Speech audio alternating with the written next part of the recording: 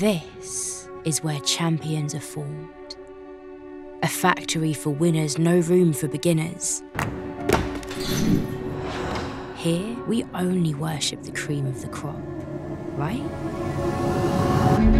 Wrong. This is a temple for all, a home for leapers and bouncers, for twisters and turners, a theatre for spectators, a class for learners. Bronze, silver, and gold is not the only thing we strive to fashion. Here, we forge friendships bonded by passion. Gymnastics is in all of us.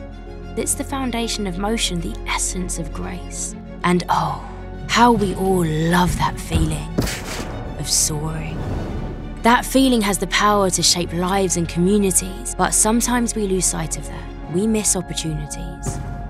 So now, it's time to step forward and build a future that is enjoyable, safe, and open to everyone. A sport that is truly welcoming and fair for all those who dare to tumble and take flight. So let's be open minded to new ideas, put behind us our fears, because now more than ever, we need to grow together, united.